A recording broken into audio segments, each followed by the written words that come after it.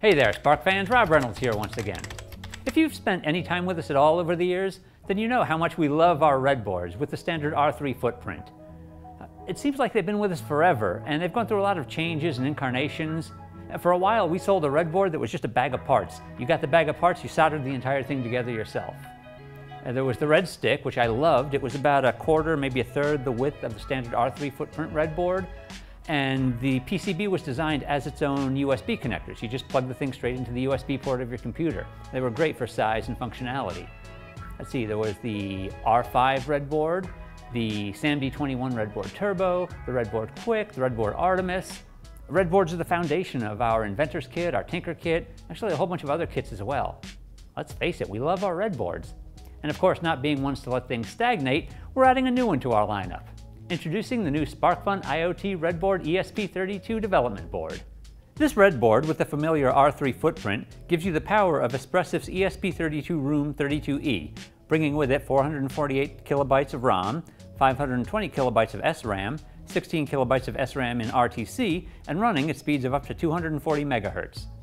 There's 802.11 BGN Wi-Fi with 802.11n bitrate up to 150 megabits per second, AMPDU and AMSDU aggregation, 0.4 microsecond guard interval support, and center frequency range of operating channel from 2412 to 2484 megahertz. It also offers Bluetooth v4.2 BR EDR and Bluetooth LE specification options. Now sit back and relax because here comes the list of peripherals. There's now an SD card slot and options to use UART, SPI, SDIO, I2C, LED PWM, motor PWM, I2S, infrared, pulse counter, GPIO, capacitive touch sensor, ADC, DAC, and TWAI, that's two-wire automotive interface. Of course, there's a Qwiic connector, and since we've done a little tweaking to allow for low power applications, there's now a 2-pin JST connector for single-cell LiPo battery power, in addition to the barrel jack we're all used to. And connected power, programming, and USB to serial is now done with a reversible USB-C connector with through-hole anchoring and the ubiquitous CH340G requiring fewer driver installs. Espressif's ESP32 is one of my favorites. I use it all the time for wireless projects. And so this board is perfect for me because I can prototype a project without having to solder anything like I would have to do with our ESP32 Thing Plus boards. I can breadboard it all, and then once I have it exactly the way I want it, I can either solder to the pins, which are right next to our headers on this board, or if I need the smaller footprint of a Thing Plus, I can easily move it over to that. So a red board that is capable of Wi-Fi, Bluetooth, voice encoding, MP3 decoding, low power sensing, and a ton of other features straight out of the red box. With all those capabilities, this may very well be our greatest red board to date. I think that's a pretty well-deserved flex. I mean, the possibilities with this board are so much more than you could have done with any previous red board. Uh, I went to my old standby, MIT App Inventor. I created a quick Bluetooth send app.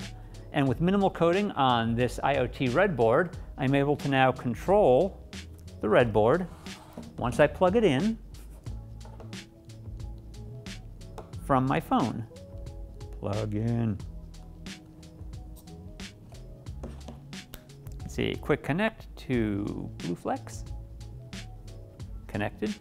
And now, bam,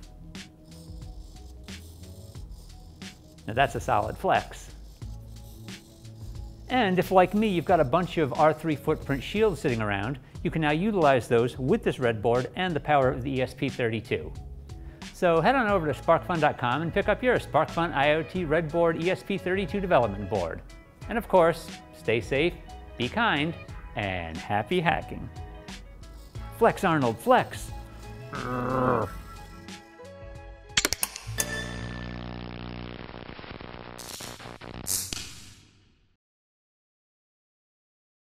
This red board, good start, good start.